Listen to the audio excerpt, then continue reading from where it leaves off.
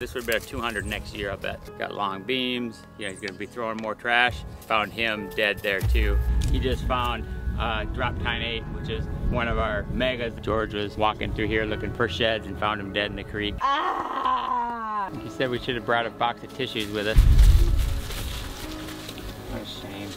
Definitely not the way you want I remember like the first time I saw him, I'm like, that's the buck I want to shoot out of all of the ones I was hunting. You know, all kinds of opportunities that we could have shot him. It's sad, but they keep making more.